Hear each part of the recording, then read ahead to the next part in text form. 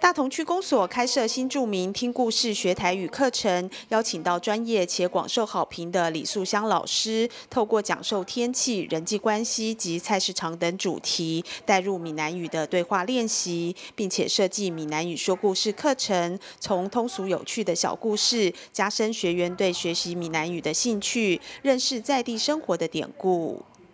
除了学习台语知识，大同区公所还与万华税捐处合作，在课程中介绍租税小知识，推广云端发票 App，以及有奖征答，让学员学到许多生活实用知识，并将小礼物带回家，可说是收获满满。大同区公所希望透过闽南语研习课程，让学员亲自动口说，除了降低语言隔阂、提升人际关系，更能帮助学员快速融入台湾生活。记者李希惠台北报道。